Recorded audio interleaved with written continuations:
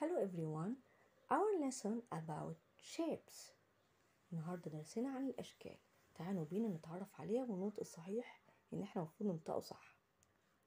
Circle circle circle triangle triangle triangle square square square rectangle rectangle rectangle star star star oval oval oval diamond مش diamond diamond diamond حرف الأو يا صحابي بيكون silent في كلمة diamond diamond heart heart ما تنسوش كمان يا أصحابي اللي تتحروا الورك شيتس about shapes عشان يسهل عليكم التثبيت وكمان معرفتها أكتر وأكتر وأكتر.